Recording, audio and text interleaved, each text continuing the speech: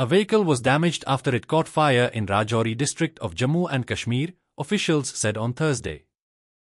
A car caught fire behind the Jal Shakti office in Rajouri, an official said, adding that the fire erupted suddenly, rapidly engulfing the vehicle and causing substantial damage.